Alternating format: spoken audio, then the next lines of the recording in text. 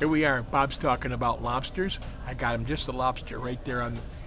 Don't go away, little lobster. Bob wants to eat you. He's mungus. I think, Bob, that'll make about 10 meals for you.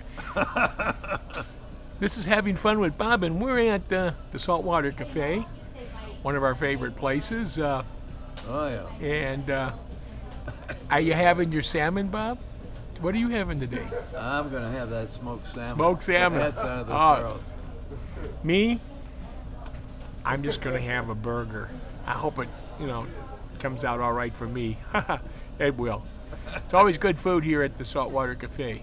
And don't forget, catch Bob and I at the Lustanza restaurant every Friday and Saturday. Come in and say hello. This is Jimmy Jay. Wait a minute. This is Jimmy Jay saying, have a great day. And look, I'm drinking coffee. Yes, sir.